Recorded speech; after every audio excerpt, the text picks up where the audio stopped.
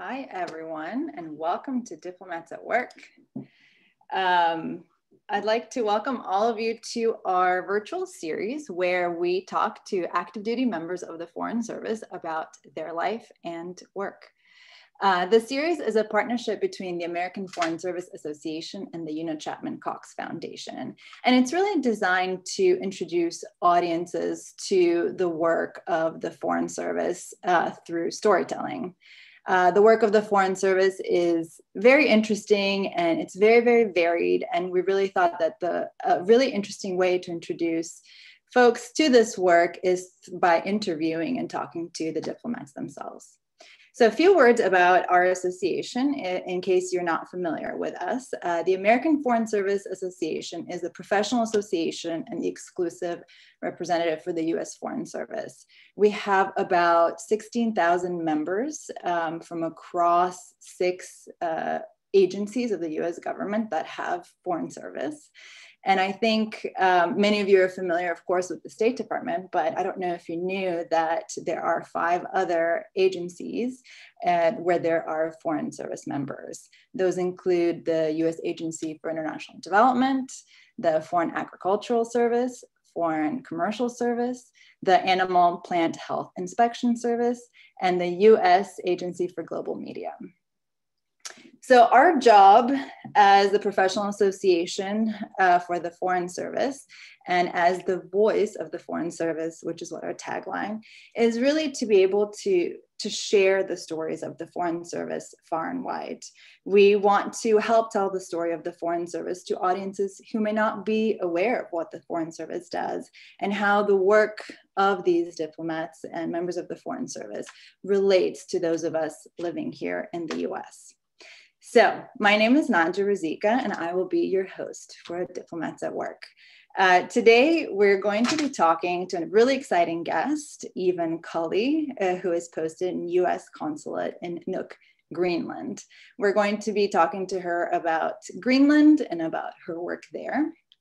Uh, I think some of you may have also uh, come to our May session of Inside Diplomacy where we talked to US Arctic coordinator Jim DeHart about uh, work, uh, foreign policy issues in the Arctic. And it was really a kind of a big picture discussion about US foreign policy in the Arctic and the kinds of diplomatic opportunities that are opening there.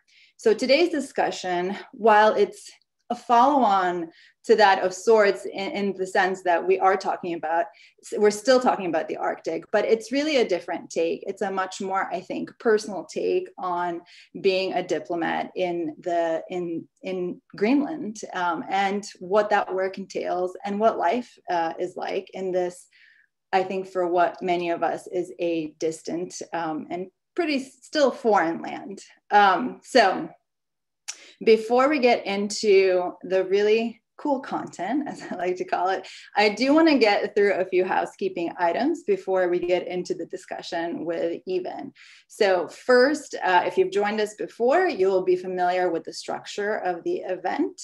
Um, we are going to be talking to Eavan for about 30 minutes, where I'll be asking her questions about life and work and what does a public diplomacy officer do. Um, and then we're going to leave about 15 to 20 minutes for audience Q&A. So please enter your questions into the chat box. I think there's a separate Q&A chat box. Um, and enter them as early as you would like. Also, we'd love to know who is joining us today. So if you um, feel like it, please enter when you ask your question. Do enter, you know, what your name is and where you're tuning in from. We'd love to hear from you. Uh, we are recording today. Uh, several people have asked me that. So we are recording as usual, and we will be sharing this recording on our website and with all those who have registered. Um, and that'll be up in a few days, probably early next week. And then finally, as before, we have a very brief survey for you to take at the very end of the session. So when you log off, it'll pop up for you. It'll take no more than three minutes, um, and it will be really helpful for us because it'll help us refine, continue to refine uh, diplomats at work so that we can bring you the kind of information, the kind of stories that I that are helpful and interesting to you. So please do take the few minutes to do that. Okay, so now that we're done with that, um, let's get to the exciting stuff. So, um, welcome, Eavan. It's so great to have you. Thank you so much for taking the time to be with us today and to talk to us about all things Greenland and all things your job. Um, we are really fortunate that you're able to dedicate this time today. So, with the next few questions, I want you to help us kind of lay the groundwork kind of for, for what we're going to be talking about. I do want to start off by having you talk to us about your job as a public diplomacy officer and what, what does a public diplomacy officer do? What, what is the job?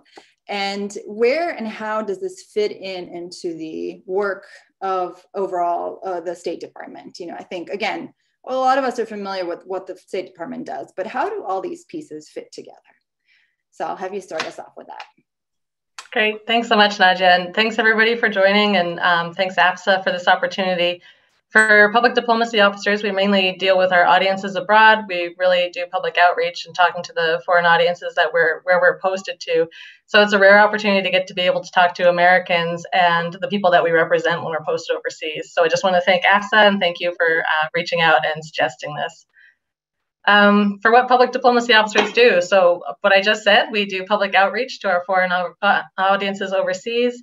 That includes a lot of different aspects. Um, it's media, so things like doing press conferences. For example, when Secretary Blinken came out to Greenland in May, we helped arrange the press conference for him, which was in an airport hangar in Kangerlussuaq.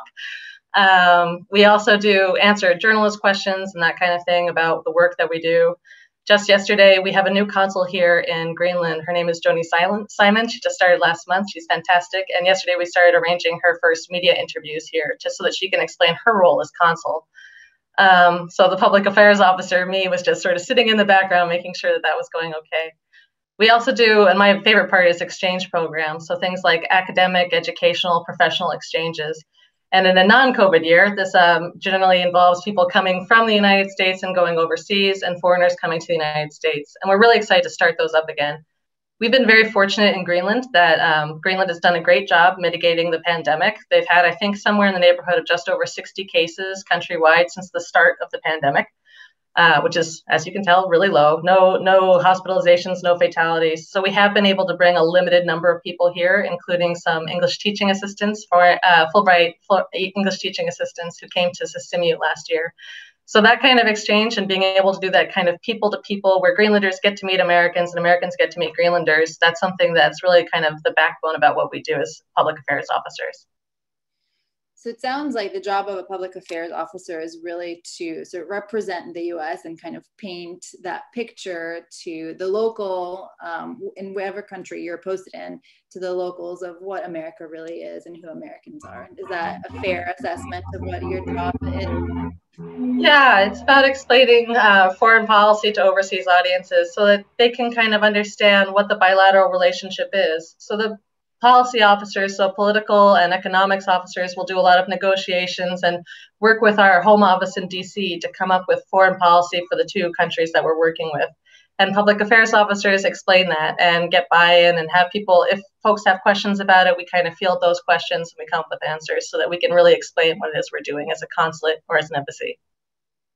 Great. Thank you. That's a, uh, it's a fascinating and I think very important job, um, important piece of the overall work of the State Department. Okay, so switching gears, but still kind of staying in the laying of the groundwork um, about today's discussion.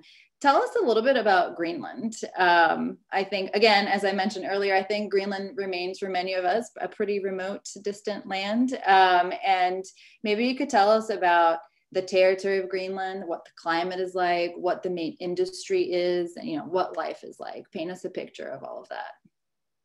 Sure, it's uh, kind of hard. Greenland's uh, it's amazing. It's a wonderful place. I am every day extremely happy that I get to be here.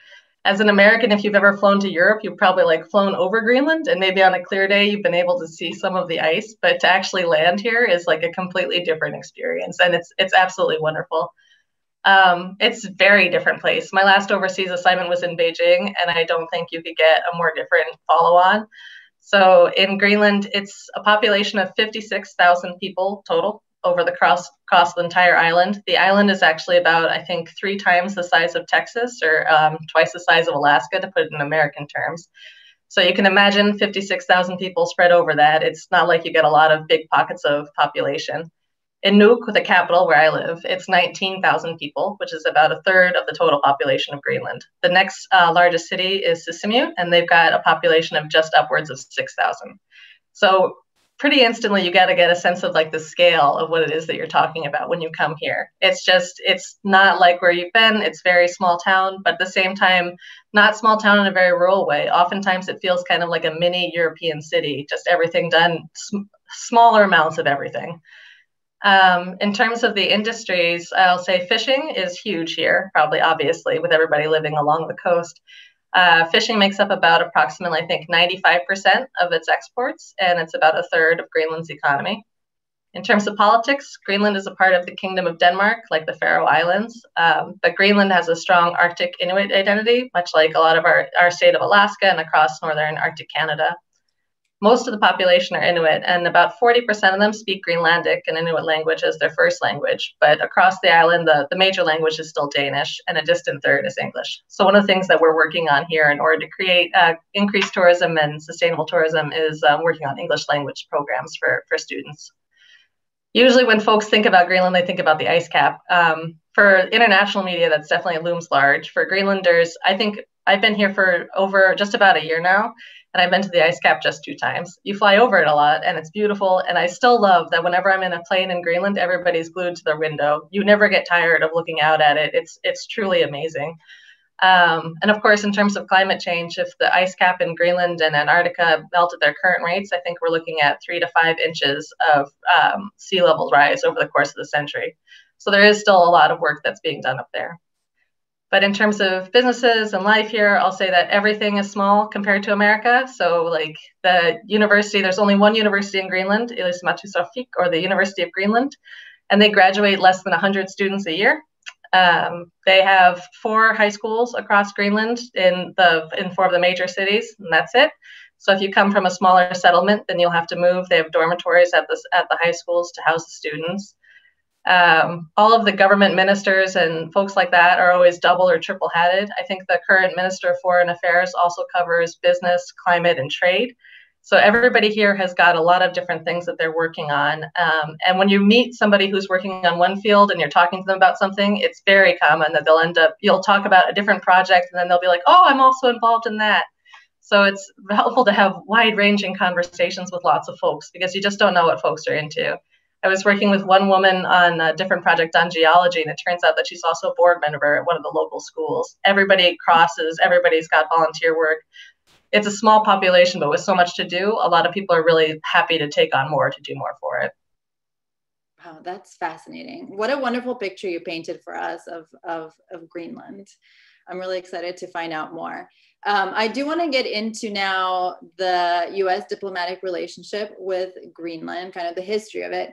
But before we get into it, you work at the US consulate um, in Greenland, and there is a US embassy in Denmark. So, what is, for those of us who may be new to this, can you walk us just through the difference of what a US consulate does versus a US embassy? I think a lot of us are familiar with an embassy, but what what's the difference um, of the two and you know sort of how would you explain that sure um, so at the most basic level an embassy is uh, located in the capital city of a country or kingdom and a consulate is usually posted to a bigger big city nearby so in the us if you're going to have an embassy they're all posted to washington d.c and if there's a consulate they might be in something like new york or san francisco um, so for us because Greenland is part of the Kingdom of Denmark. The capital of the Kingdom of Denmark is in Copenhagen, so that's where the embassy is. And we're uh, at the capital and largest city of Greenland in Nuuk, so that's where the consulate is. Both of us kind of handle a lot of the similar situations and uh, issues. For example, our number one priority overseas is always American citizens. So if there's an American citizen that's in trouble overseas, they'll always contact the embassy or consulate, and we're going to try and help them out as best we can. Um, apart from that, we'll work on different diplomatic issues or um, trade negotiations or educational exchanges in the area where we're posted to. Because Greenland and Denmark are pretty separate, not just in terms of land, but also I think I think we're about 2,000 miles away, but now that I say that, I'm like, maybe it's 2,000 kilometers. I've been living in Europe too long to know the difference between, between these anymore. It's, it's um, but we're at least, okay. we're at least uh, four hours in terms of time. So it helps to really be on the ground, to be local, to be there in order to make those relationships between different people at the embassy or consulate and the folks that you're actually working with day to day. Having said that, the embassy did handle Greenlandic matters for a long time and they did a great job at it. But as we start to focus more on the Arctic, it made more sense for us to actually be here in person. Well, thank you for that segue into my next question, which is that I know I was reading that the um, US diplomatic presence with um, or relationship with Denmark goes back to, I think, the 18th century. And I think the first embassy or the precursor to the embassy was very early on in the 19th century but the diplomatic our diplomatic presence in Nuuk hasn't been as um, i would say consistent. And it started I would, around world war ii and then it closed and it reopened. So i would love for you to kind of walk us through that um, history of our presence in greenland yeah, happy to. Yeah, it's good that you mentioned Denmark. The, the embassy there is currently celebrating 220 years of diplomatic relations between the US and Denmark. So that means 1801 was the start of our embassy over there. So good job. Um, yeah, for Greenland, it was a bit different. So before, Greenland was always handled by Denmark, um, but in 1940, Denmark was invaded by the Nazis, and we stepped in as sort of like a protectorate over Greenland. And so a lot of our first interest here was basically, you know, working on World War II issues, weather stations that were set up around that provided critical data for the Allies um, to maintain control of the just seaways around the island. Um, but in 1940, that's when the first consulate was established here. And that time, Nuuk was, I can say Nuuk fine, but I have a hard time saying Godthaab. I think that was the name of it's in Danish. Yeah, of the town. Not speak Danish, yeah, but that was the, the old name of Nuuk. But at the time that the that the consulate was first established, I think there was something like 600 residents. So I thought 19,000 was small when I got here, but 600 is a different kind of order of magnitude smaller. And then, uh, funny little fact is that they actually had to order the consulate building from a Sears and Roebuck catalog and build it themselves. So things have thankfully changed. I came into a ready-built place, um, but that building actually still stands. It's across the street from Nuuk's only, uh, from Greenland's only mall, Nuuk Center, which is downtown Nuuk. Um, but yeah, so that was opened in 1940 and then it closed in 1953, I think primarily due to budgetary reasons. And the end of the war made it not so important that we stayed. And uh, I think the strong allied relationship with Denmark and Greenland, the US also certainly played a part. But then in June 2020, we reopened in the middle of, well, what seems now is, I think, the early days of a pandemic that will continue. But uh, we started in June 2020, and at that time there was only one diplomat on the island. That was my uh, former boss, the consul Sung Choi. Was the first diplomat here in all 67 years, and then I came about a month later. Um, yeah, so there's been a lot going on in Greenland between that time. I don't want to sound like you know we we yeah. stepped out and didn't come back. There's a long relationship between the embassy and Greenland. Um, you know, doing just covering Greenlandic matters. And there's also a huge amount of scientific uh, cooperation between things like our National Science Foundation, NSF, and different organizations here in Greenland. Another fun part about our involvement in Greenland is that one of the oldest um, ice uh, centers in the world it, for like studying climate change and the rest of it is on Summit Station it was erected, I think, about in the early 1990s and it's been running since then. It's at the highest point of the ice cap. And year round, there are scientists that are posted there in order to do experiments. And when the scientists can't be there, there's always somebody there to sort of manage what goes on there. It's really cool. One of the first things I got to do when I came out here was uh, fly out to Summit Station. I stayed on the ground for about 45 minutes of just like excitedly taking videos and pictures of ice and then immediately fly back. But um, it's really neat to get out there. And the way to get out there, the only way to do it is to fly over on Air Air Force, um, Air, National Air Guard planes that are equipped with skis. That's pretty cool. I recommend it if you get the chance. Wow, that's that's that sounds very very interesting and very cool. Um, so I understand that the U.S. and I and Iceland are the only countries that have a formal diplomatic presence in Greenland. Yep, that's right. Yeah, we're the only ones. So there's the two consulates, and Iceland has one diplomat, and we have three. So really, really outdoing ourselves over here. no kidding. Um, so you talked about uh, a little bit address some of parts of my next question, but I'd love for you to dig into it a little bit more. So you, the U.S. consulate was reopened last year, last June. And of course, it's, I'm sure, not easy to reopen a consulate that's been closed for what, 50 some years. Um, but of course, to do it in a pandemic must be immeasurably harder. And so I'd love to hear a little bit more about what the process of reopening a consulate and reestablishing a presence is like. Um, and then what what is it that the consulate we did talk about this, but it would be great to revisit. What is it the consulate does exactly in terms of specific projects and the kind of things that that um, everyone is involved in? I know that you have, um, in addition to you, your two other colleagues. One of them is a USAIDer as well, and it'd be interesting to hear what kind of work goes on there as well. Yeah. So, um, like I said, the consulate opened in June last year. So we're just we just celebrated our one year this June. Um, at the same time we did that, we switched out consoles. So we had Sung Choi for our first year, and now we've got Joni Simon who just started up. And in addition to Joni and me, who both work for the State Department, we have David Brown, who's a senior AID development officer, um, who's been doing, like I say, a lot of people here end up doing a lot of different work and they all overlap. So all three of us end up sharing a lot of the same contacts, but we all sort of work on different areas. So David main focus is working on different things about things like how to um, reinvigorate the sustainable tourism industry here, things that are helping Greenland develop in its economy in different ways. As I said, they do primarily fishing, so anything that we can do that can help them in capacity or education or, or whatever they're looking for to work on different areas of their economy. That's what we're kind of doing an assessment right now to see what it is they're looking for and where the US can give resources. Um, in terms of setting up the consulate, there's a lot that has to go into it, and it's it, you know it's a once in a lifetime opportunity, and I'm always going to be really grateful that I had the chance to do this. To start at like a basic ground level and really just going out there, flying out to places, meeting people for the first time, and explaining them what the U.S. government is doing in Greenland and what it is that we can do for them and what kind of relationship we're looking for. But yeah, we go out to different places. There's still, like I said, we can travel domestically, which has really been great and when we do that, we get to take meetings with folks that are just working in all kinds of different areas. Like I say, I'm kind of focused on English language learning and um, developing things like professional and educational exchanges. So I meet with people like, um, let's stick with tourism. If they're working on trying to figure out um, how to build different tourist networks or something, or how to attract folks, then we might be able to have, um, for example, the U.S. Embassy did have a sustainable a speaker on sustainable tourism come out to Sisimiut in 2019, and then they led a workshop and they sort of showed like best practices from our own experiences in those areas. So we've been, as we establish those contacts, we try and work on different areas that they're looking into, and we just keep on trying to build the relationship and build and help develop that, help them develop the fields that they're working on. With us being so small, there's a lot that has to go on, and part of the other role of the public diplomacy officer is to maintain things like our Facebook and Instagram so that everybody here can also see what it is that we're interested in, what we've been doing, where we've been traveling, who we've been meeting.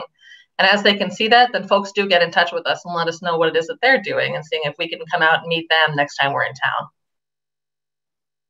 That's great. So are you still, you said the old Sears and Roebuck Roebuck building is um, you're not in it right now, but are you which are do you have your own building or are you sharing? No. Yeah, we were very fortunate that so there's Arktisk Kommando or Joint Arctic Command um, has an office in what's called Nuuk's Old Harbor. So that's where we are. We just take up three small rooms in, in the office out here. We're really fortunate that they were able to, to house us so quickly. Um, but having said that, we are looking, it's going to be a longer term project about trying to find a place that can be kind of purpose built for us. And we have a long wish list of things that we would like to include in that. but um, yeah, so far we're just still an Arktisk Kommando. It feels very much like a startup, startup almost, right? Yeah, and actually, it's very funny because again, my last overseas assignment was in Beijing at one of our largest embassies in the world, and now I'm working out of three small rooms, and I'm training our local staff up in like you know what an embassy is and what a consulate is in an environment that I feel is just very different than what most embassies and consulates are like. Yeah, that's I think probably a invaluable experience. That yeah.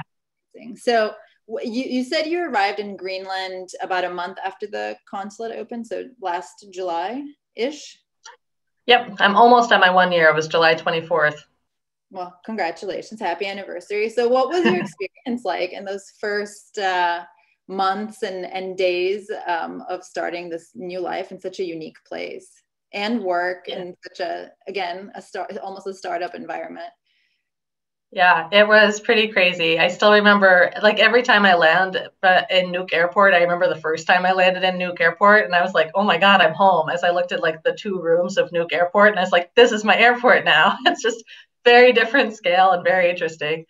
Um, but when I got home, I got home and my view, thankfully, is amazing. They got me an apartment somehow right over the fjord, and I just like stare out at it. So my first two weeks of quarantine, I had an iceberg that was like perched outside my window, and I was like, I was locked inside basically. So I just watched this like icy hourglass tick down my time while I was in quarantine. But then uh, once I got out, thankfully, I've been able to travel a lot. So, like I say, because we're starting up, I think one of the most important things this year has just been establishing relationships across the island. It's not enough for us to just be a Nuuk. That's not like the only thing that, that falls under our purview. We really do have to make sure that we're visiting different people and places and understanding the full scope of the island. So my first trip, I think I was like a couple weeks here before out of quarantine before I went to Kangerlussuaq and I saw the ice sheet and then I went down to southern Greenland into the southern capital of Qaqortoq, which has a population of somewhere over 3,000. And Narsaq, which was about 1,200. And I think Narsarsuaq is just under 200. And you go to these different places and you learn what's going on there and like the schools and the opportunities and what folks there are looking for. And then um, after that, when I got back to Nuuk, you know, a town of 19,000, I was like, wow, metropolis. Like it was a completely different perspective after I had been able to get out and I still see it that way. My first trip to Copenhagen after I'd been here, I remember being at the airport and I was like, wow, I think there are more restaurants in the airport than there are in Nuuk. but like once you get used to the shift in perspective, it's really not that bad. And it always feels like coming home to come back home to Nuuk now. Wow. So now that you're a year in, how how are we feeling about life in Greenland? Sounds like you're quite well settled in. Have you been able to travel much um, through the island and experience it sounds like you you have it sounds like you have been for work but have you been able to sort of do it for leisure and kind of be a tourist yeah, I think that it's, I will say this, and I think I should do this in the future. When you get a job whose portfolio covers tourism industry, you get to do a lot of fun stuff. Yeah there was um, I got up to go to Ilulissat, which is kind of like the tourist capital of Nuuk of Greenland, which has um, the ice fjord, which is a UNESCO heritage site, and it's it's completely amazing, and I definitely recommend going out to visit it. Um, oh, these are from a different trip to the Arctic Circle Trail. But Ilulissat is just like icebergs and it's gorgeous. But I was taking a meeting when I was up there, and a man just like he told me where the meeting spot was, and he said, "Oh, a boat will pick you up to take you here." And I was like, "Okay, great." I was traveling with a senior foreign service officer at the time, and her and I were just like, okay. So we got on a boat, which turned out to be like two fishermen on a boat, and they just stuck us on the boat. And I was like, cool. And they were like, yeah, this could take anywhere from half an hour to two hours. And I was like, great. and it ended up being like 45 minutes, like icebergs surrounding us on all sides. And then we get to a tiny settlement, and we have to park on the ice, like on ice for sea ice. And then we get out and we walk across the sea ice. And this is in April when a lot of stuff is melting and kind of disconcertingly, the first three inches of that are pretty slushy. So you just get out and you walk on slush, and you really hope that there's like something thick under you. But we went out to, and the uh, settlement was called Oqatsut, and we were learning about, you know, a, an artist residency up there. So like it's tourism, it's work, it's been just like a wonderful experience, unlike any place else that you'd be able to go or serve. Um, yeah, it was utterly fantastic. wow, that sounds surreal almost from my perspective. So you sent us a few pictures, and I, I think these were from your personal travels uh, through yeah, yeah. versus work travel. So do you want to walk us through some of these? They're um, sure. so beautiful. Yeah, well, yeah, I can go through these. So actually, one of the fun things that I've done, so personal travel completely, I even paid for my own tickets, was to go up to Kangerlussuaq and do a walk to Sisimiut. So one of the fun tidbits about Greenland, there are no roads that connect cities. You cannot drive from one place to the other. Doesn't happen. The only place where you will be able to do it eventually on ATV is on this area. But this is a very famous, I guess if you're into this sort of thing, hiking trail. It's 160 kilometers. It typically takes nine days. Um, on our last day of hiking for nine days, where I was dead tired, we met a guy in his like 50s who'd hiked it six times and was now doing it in five days. So that was kind of shameful. But at any rate, for us, it was very difficult nonetheless.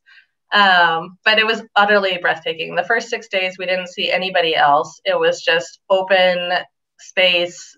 Like there are no trees in Greenland except for in the very far south. So all you see is just like pristine. Yeah, this photo kind of looks like the beach in the Mediterranean. And there it is. It's just like to show a different side. People always think of the ice and the cold, but it's really beautiful. And there's a lot of diversity and a lot of vegetation that you don't get elsewhere in the world um, yeah, it's we had to hike for nine days with all of our food on our backs and stuff. So the packs got lighter, or we got stronger, unclear, by the end of the trip. Um, but yeah, it was just like a, a, huge achievement, a really amazing thing. And folks here in Greenland are always really happy to hear that somebody else has done. It's called the Arctic Circle Trail. Mm-hmm. Um, yeah, that at the bottom there, you can see this is leading into Sisimiut. So this is at the very end of the trail. And you can see that cairn, the pile of stones, has a little red half circle, and that's the sign of the Arctic Circle Trail.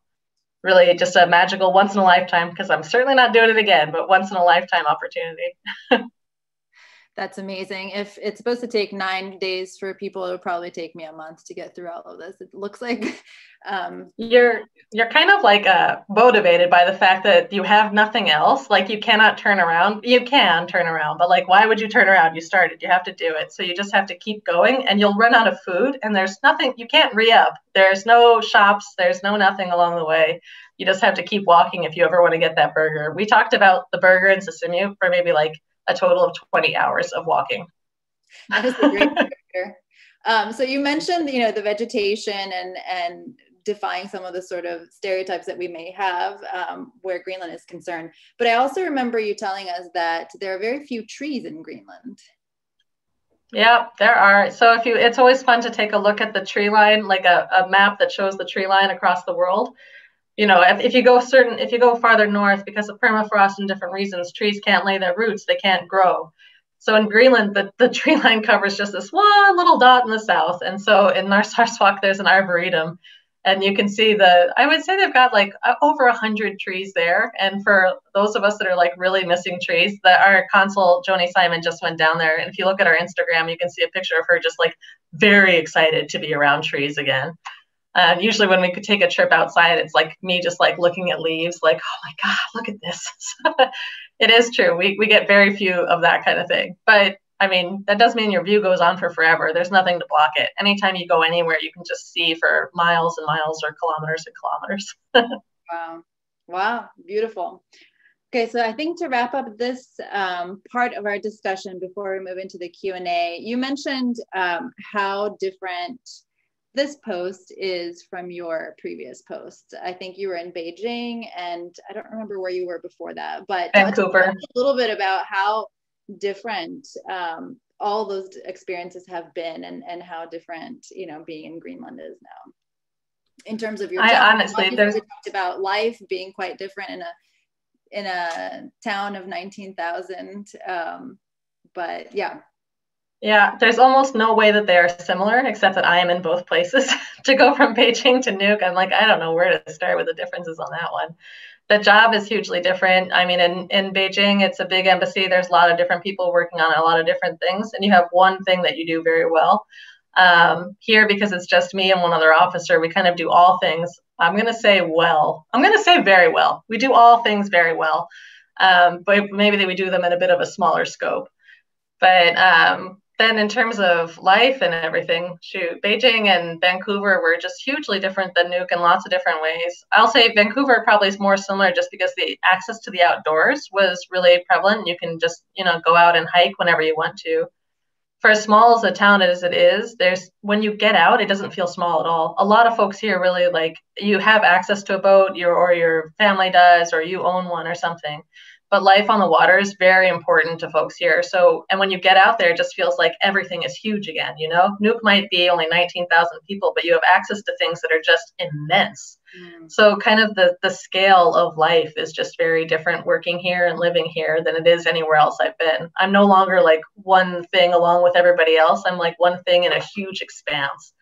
So it really just changes your perspective. I think it'll be a, a, a real trip going back to the States and like living there again after this one. Yeah. And your job, I mean, you said you sort of handle a lot more, uh, but thematically, is it different or sort of yeah, um, I would say, well, it depends. So every time that you get posted overseas, your embassy will come up with um, what's called our integrated country strategy. So, like the goals for the mission that we're going to be handling over the years to come.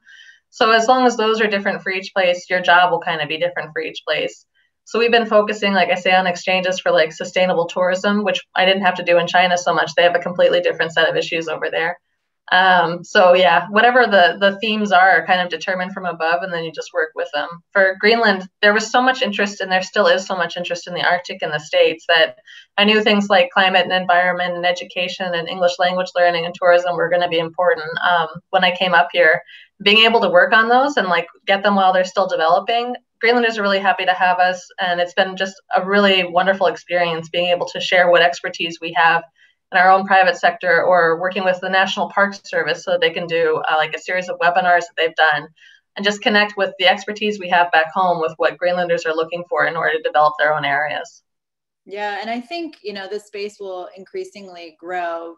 As we had discussion with um, coordinator DeHart, I think there's more and more interest in being active um, diplomatically and otherwise uh, in the Arctic. And I think it'll probably grow as there are more opportunities being open now with you know the melting ice and an increasing sort of transportation routes so i'm, I'm guessing it'll only become bigger and more interesting for people to come and uh, and work there Okay, so we've come to the end of our sort of discussion questions, and I'd love to switch over now and to get to our audience questions. I think we've gotten a bunch.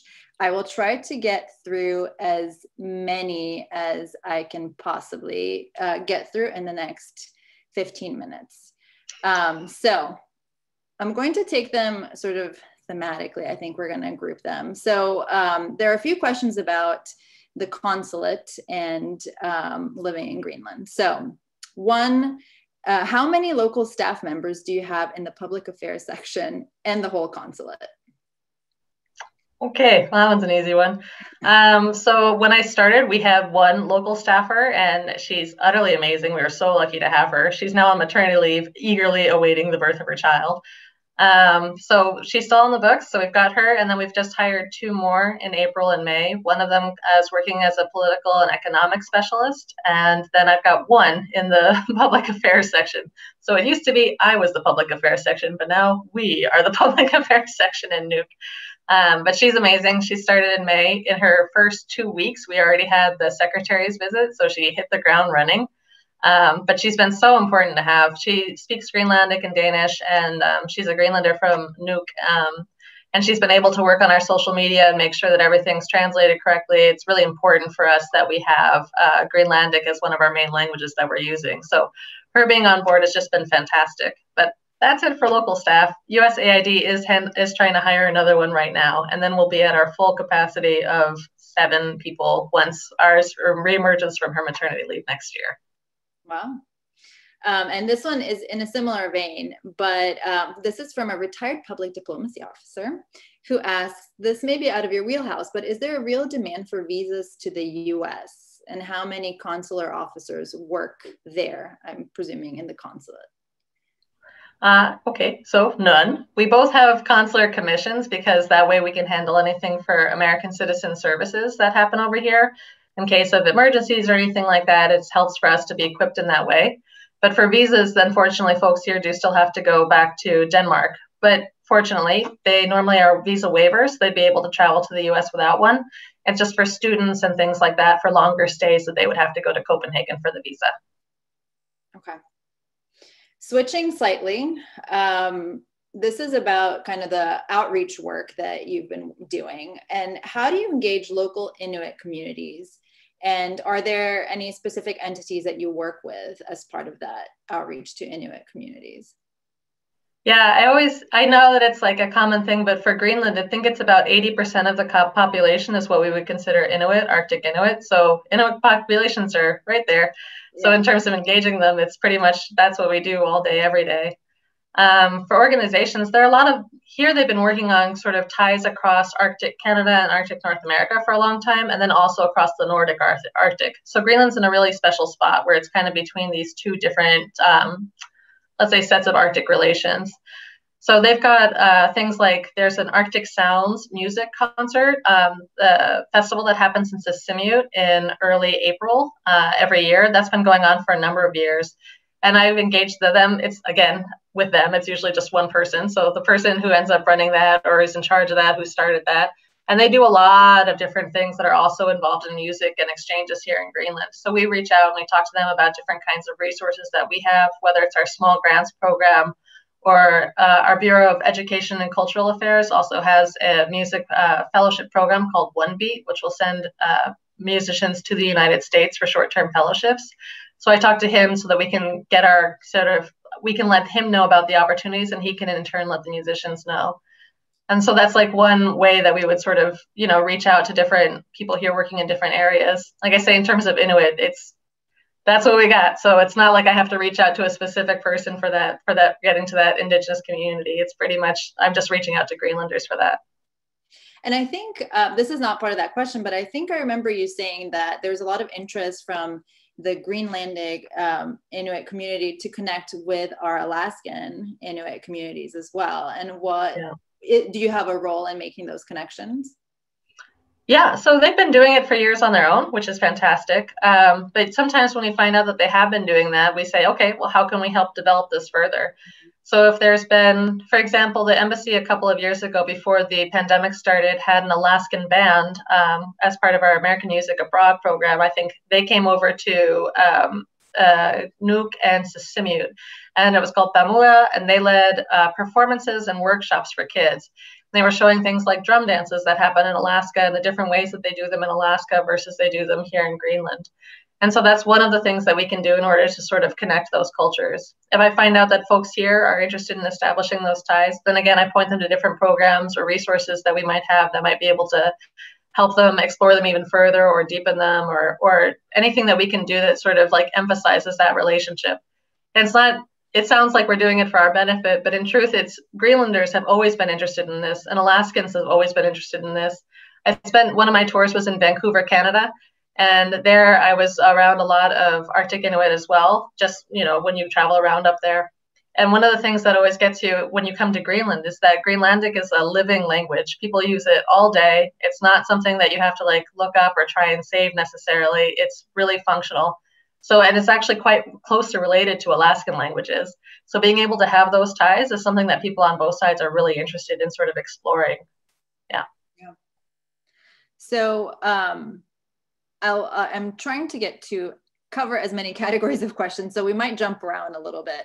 Um, there's one uh, question about the Arctic coordinator, Jim DeHart, mentioned that science uh, diplomacy or rather international collaboration in science is very strong in the region. I think you did mention um, the center that you visited at the at, Summit Station. Yes, yeah. thank you. um, can you tell us a little bit more about that? And are you, I assume the consulate is somehow involved, at least in some level of coordination. Yeah. Um, sure. So there's a couple of different things that we can talk about there. So one of the things that's happened in Greenland, and they've wanted it to be every year, but because of the pandemic, it wasn't last year, but it's called Greenland Science Week. And US researchers will also participate in that. As you are probably aware, a lot of climate science is going to happen up on the ice. And this is where a lot of people are coming to come to like learn about what's going on and do this research that's really integral to where we're going as a planet over the next forever. Um, so a lot of that research is done by U.S. or funded by U.S. government money by National Science Foundation. Or we have actually a team coming up soon, I think in August and September from NASA, which is their program is Oceans Melting Greenland or OMG. Best acronym ever. But they are they come up here and they do a really cool project where they're going around the island and um, dropping sensors in to test the temperature of the water so the, the melt on the ice sheet isn't just coming above from the sun hitting the ice. It's also coming as the glaciers come off, there's water underneath them. And as more warm water is coming, that's helping them melt from below. And along with the top melt is actually coming and creating situations where those glaciers are going to calve more frequently. So NASA's been dropping sensors in all these really remote places all over the coast of Greenland to see how that water temperature has been rising over the years. I think this is their last year that they've been that they're doing it. But they'll also participate in Greenland Science Week, and um, they'll do a couple of different things before that as well. They did a great outreach earlier this year to high schools in Sisimiut and in Nuuk and elsewhere across the island, where the lead um, uh, principal investigator who goes by uh, Climate Elvis. So you can look him up on Facebook. He has sideburns and he does also perform. But uh, he did a great presentation just sort of explaining that and showing the amazing pictures and videos that he took in like parts of Greenland that nobody gets to get to. So there's a lot of different areas for science that that the U.S. has been working on here, and the consulate we kind of we know about all of them and we try and connect and we try and arrange that kind of outreach so that the science that's happening on the ice sheet and around it doesn't just happen there doesn't just go back to the us doesn't just stay with the researchers that greenlanders can also get the experience and understand what it is that's going on here yeah that's great. Okay so now um, a little more uh, personal i guess. The question is how do you deal with the months of light and the months of dark? We can, we can take a step back and explain that in the summer it seems to be light almost 24 7 and in the winter you have how many what two to three hours of daylight yeah i'll say that you know in terms of like the surprising thing i have a friend from texas who is constantly amazed that i'm living in a cold place but the cold never bothered me anyway it's not cold that's the problem but the the light is something that's like very new to me so yeah, in the summertime, it's pretty much nonstop. We get a bit where in Nuuk, because Nuuk is actually below the Arctic Circle, so it does dip a bit, and we'll get about three hours of what we can, you know, generously call sunset. But it's still like quite light out. I'll say this from experience. It never really gets like dark in the summertime. Um, and in the wintertime, we get in general, even on the cold, the the darkest day, we've got about three hours of sunlight. I'm just the type of person that prefers this, but the, the sunlight in the wintertime when it's on the snow, I think it feels really bright and wonderful, and I get a lot of joy from that. Whereas the never ending sun, there's a lot of times where it's like 11 and you're just not sure why you're still awake, but you don't know if you can go to sleep. So you do like all these measures, blackout curtains, night mask, and the rest of it in order to get used to it. I will say, folks here, judging from the sounds outside my window, really love staying up all night in the summertime.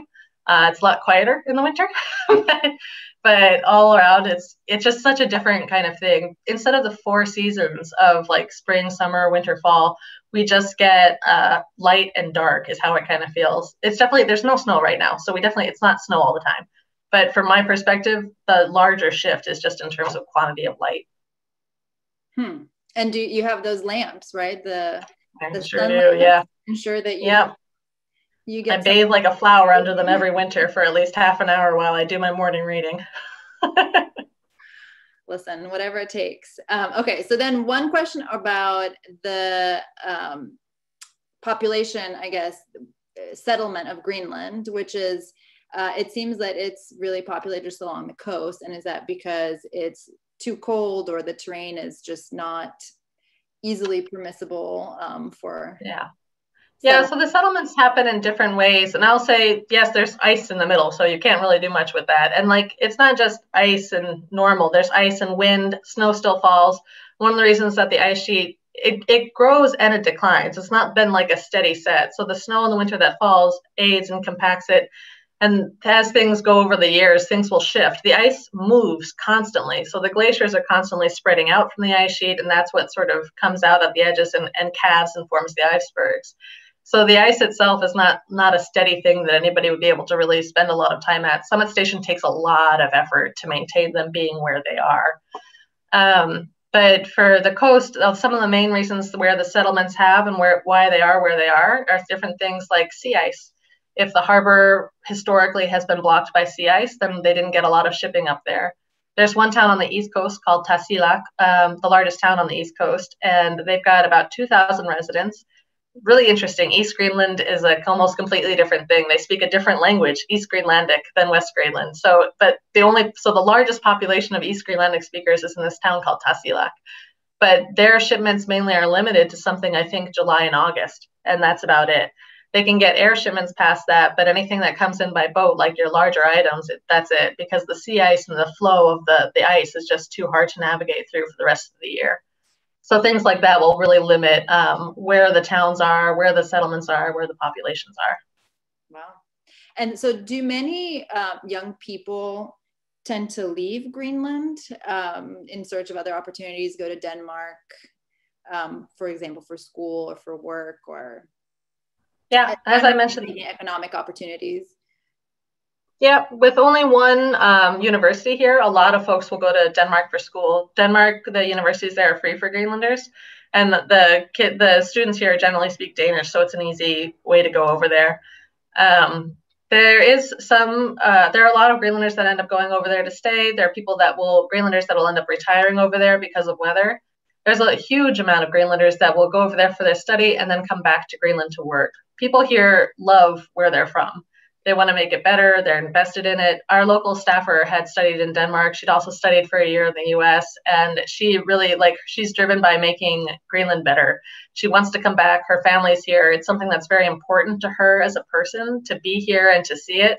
There's a lot that you miss when you leave. You know, like I say, like the, the sea being so important and being able to go out on your boat to your hut and spend your summer out there. There's a lot of just ways of life that folks miss when they when they get far away from Greenland. So we are seeing there is of course a brain drain as there is everywhere, but there are a lot of folks that are coming back that are really like invested in reinvigorating Greenland and figuring out other ways forward. Okay, I think we have just a couple of questions left, uh, or sorry, a couple of minutes left that we can use questions for. So I'll try to, to squeeze in. Um, here's one, I think, interesting question.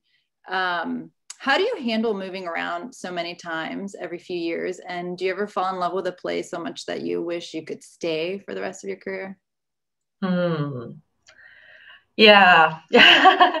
moving around, I think the the hardest part of moving, and most folks in the foreign service will tell you this, it's not getting to the place, it's saying goodbye to the place.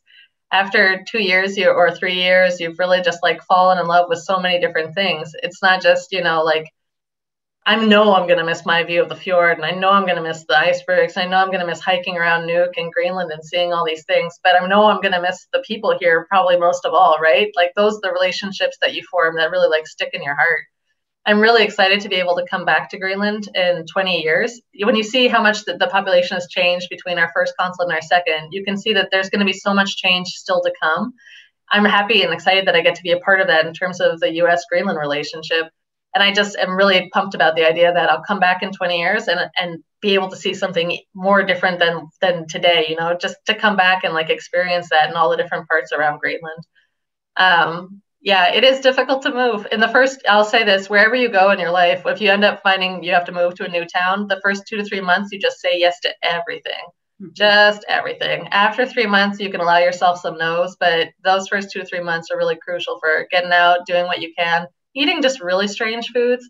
And then after that, you can say no.